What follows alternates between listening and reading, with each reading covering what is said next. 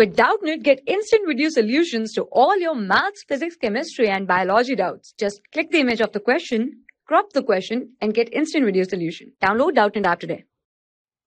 Hello, our question is to find is to show that the points are collinear.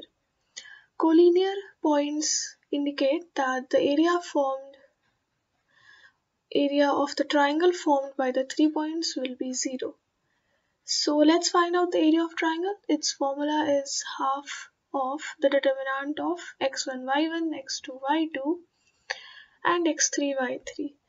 So now it will be half of and we will write down 0, 8 by 3, 1, comma 3 and then 82 and 30. So now on solving it we will get half of and we will expand it along R1.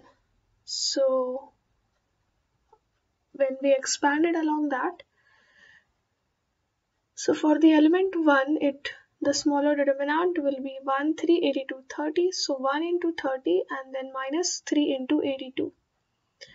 And then we will have minus 0 and then plus 8 by 3 into again exclude that particular row and that particular column we will have the determinant in red 2 by 2 so 1 into 82 minus 1 into 1 and then on solving this further it comes out to be half of 30 minus 2 1 246 3 into 82 is 246 and then 8 by 3 into 81 so minus 2 and 6 plus 8 into 27 and it will be half of minus 2 and 6 plus 2 and 6 and it comes out to be 0 so you can see that the area has come out to be 0 and since the area is 0 we can say that the points are